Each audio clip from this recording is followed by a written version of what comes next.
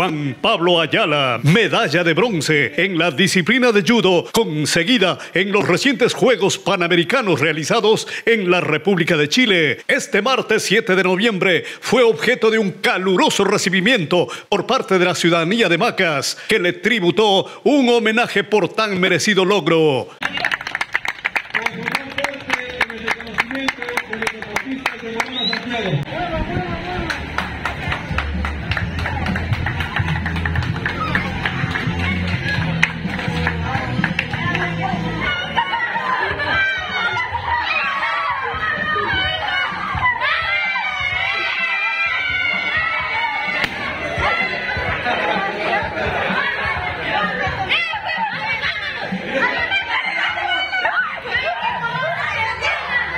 Aquí un resumen del acontecimiento. Vamos a reconocer el gran trabajo realizado por nuestro deportista Juan Pablo Ayala, quien alcanzó la medalla de bronce en la categoría 60 kilos en los Juegos Panamericanos Santiago 2023, para quien pido nuevamente un fuerte aplauso. Palabras de bienvenida a cargo de la ingeniera Patricia Barrera, administradora de Federación Deportiva de Morona Santiago. Eh, agradecemos a la alcaldía del Cantón Morona por sumarse y tener esta iniciativa de hacer este recibimiento, este reconocimiento a ti, Juan Pablo. Realmente eh, no podíamos dejar pasar de lado el reconocer todo el trabajo, todo el sacrificio y todo lo que, lo que ha significado el poder lograr este resultado en estos Juegos Panamericanos. Realmente nosotros nos sentimos honrados, nos sentimos muy contentos de saber que tú tienes plasmado un objetivo y que siempre llevas presente el nombre de la provincia de Morona Santiago.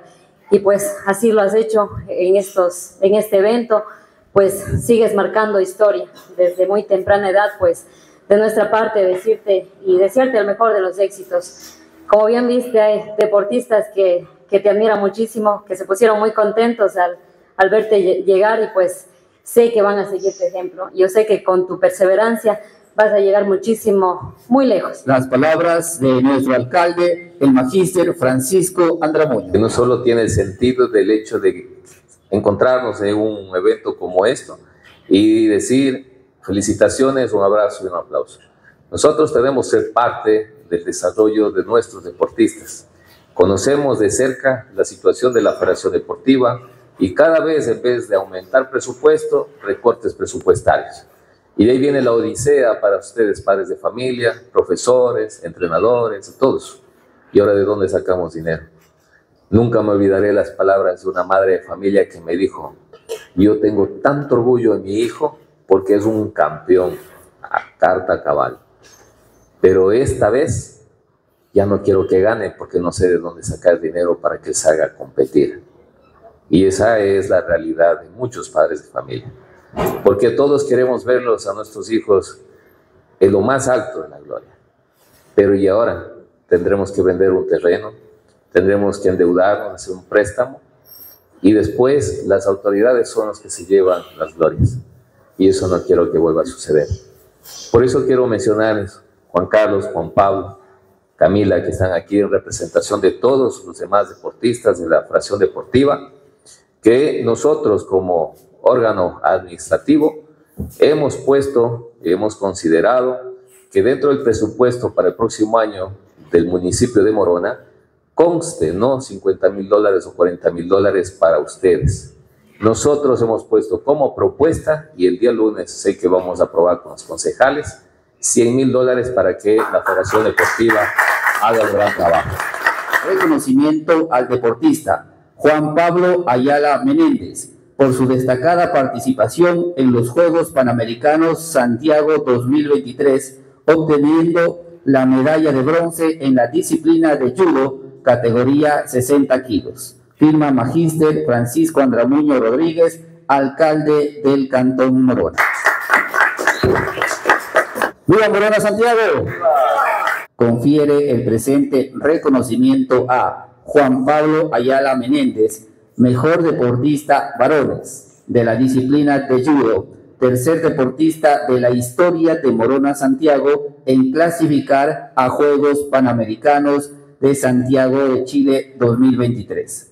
Firma ingeniera Patricia Barrera, administradora de Federación Deportiva de Morona Santiago. Federación Deportiva Provincial de Morona Santiago reconoce a Juan Pablo Ayala Menéndez por su trayectoria, trayectoria y destacada labor deportiva en representación de la provincia de Morona Santiago y seleccionado del Ecuador medalla de bronce en la división de los 60 kilogramos, disciplina judo.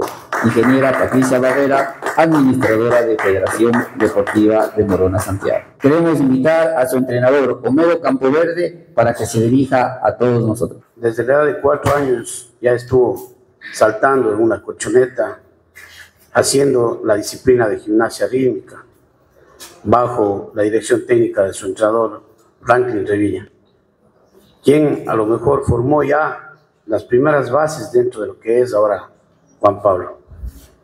A la edad de 12 años, él pasó a formar parte de la escuela de judo, siendo uno de los deportistas con mejores condiciones físicas, ya que tenía una muy buena base de preparación.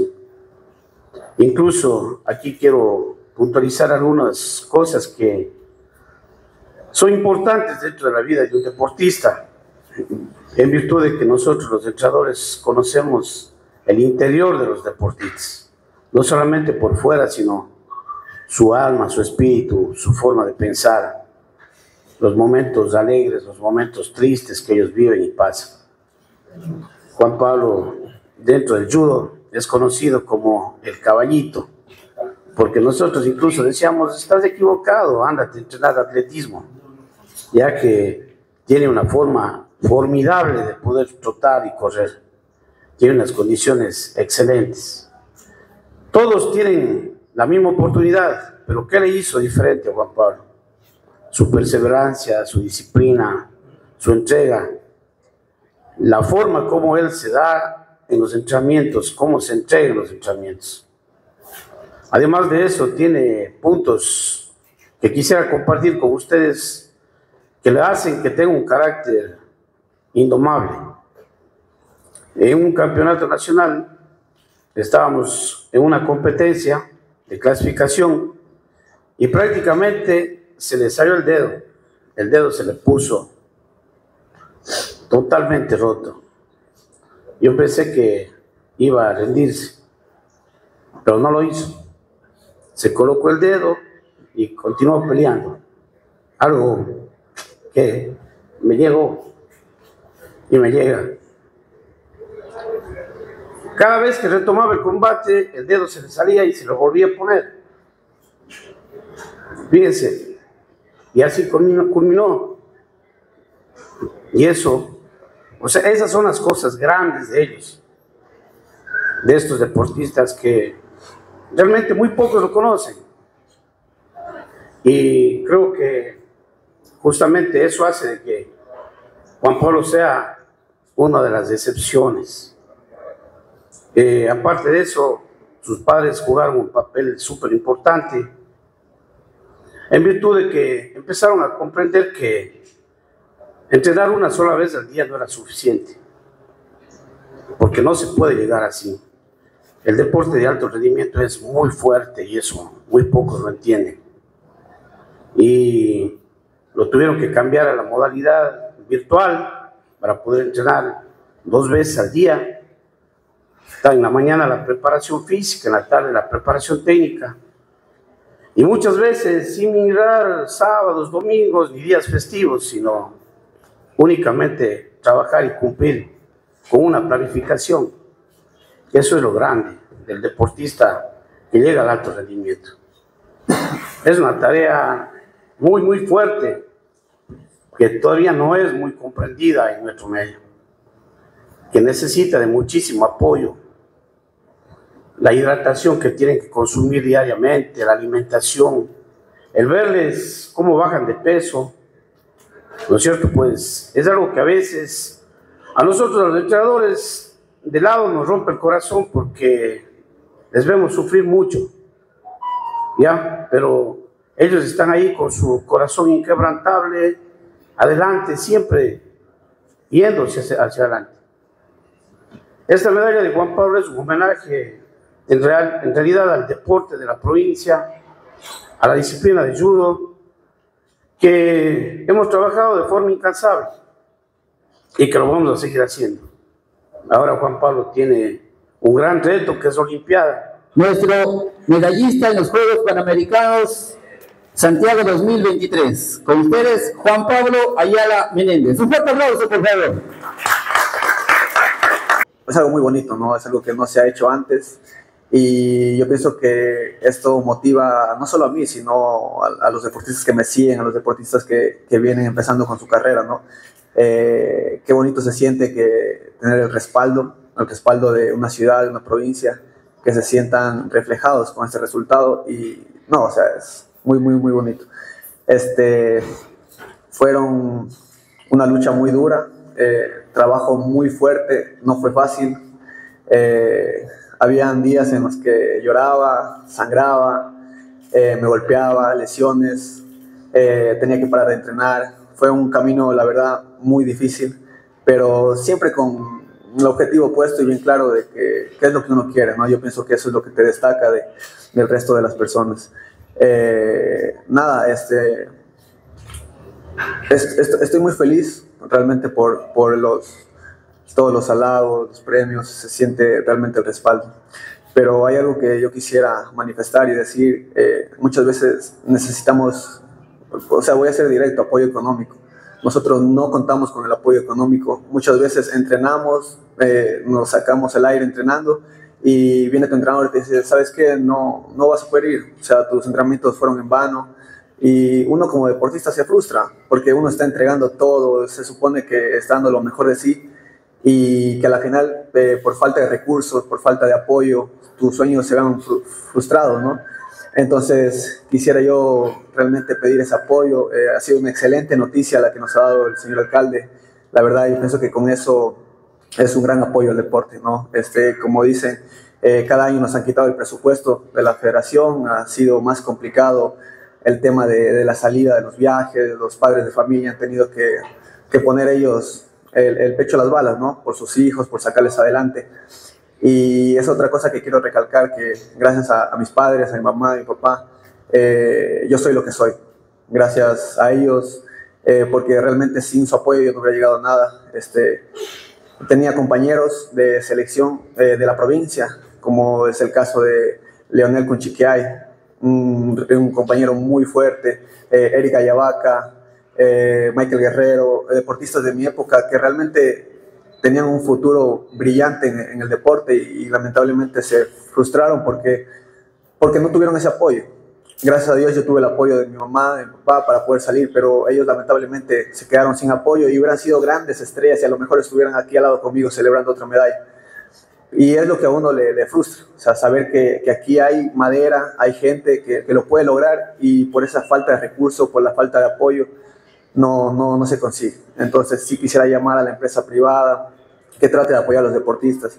Eh, bueno, ahora realmente yo, yo cuento con apoyo, pero en el, el, el, el, proceso, el proceso de un deportista no es cuando ya lo logra. O sea, hay que empezar con el deportista apoyándolo desde sus inicios. ¿Por qué? Porque al inicio es donde más nos cuesta, donde más nos cuesta sacar el dinero, sacar los recursos para poder viajar y, y no, pero quiero agradecer también este, el señor alcalde, desde que llegó, eh, ha sido de verdad una mano, eh, de, la mano derecha del deporte aquí de la provincia, nos ha apoyado muchísimo, sé que está apoyando con, las, con, las, con furgonetas para, para viajar a, los campeonatos nacionales que les da, entonces es, es un apoyo que realmente se valora. Eso, más que nada, eh, agradecer, agradecer a todas las personas que están aquí por por creer en mí, por confiar. Y nada, esperemos seguirle dando alegrías al, al país, buscar esa medalla dorada tan anhelada y por qué no buscar esa clasificación olímpica y pelear esa medalla que es el, el sueño de todo deportista olímpicos. Este, a ellos se les, se les, da un terreno, se les da una casa, se les da cual, cualquier cosa. O sea, es, yo, yo, pienso que es algo para motivar a los, a los deportistas. Eh, un compañero mío de Sucumbíos también eh, llegó a la municipalidad por medio de una ordenanza eh, le donaron un terreno. Yo pienso que es como un seguro, porque a la final tú entregas todo, te sacrificas, pero el deporte es muy ingrato.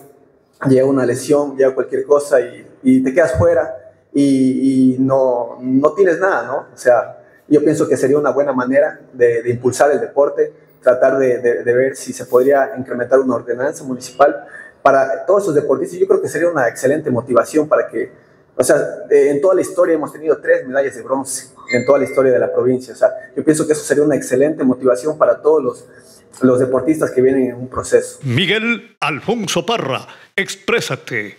Morona Santiago.